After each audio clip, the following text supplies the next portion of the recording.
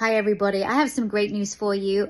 It's Me or the Dog is back. Yes, we are casting and I will be filming in April and May. So if you'd like me to help you with your dog's behavior, things are a little out of control, then please email us a short video about you and your dog and maybe a little bit of footage of your dog's behavior that you'd like me to address.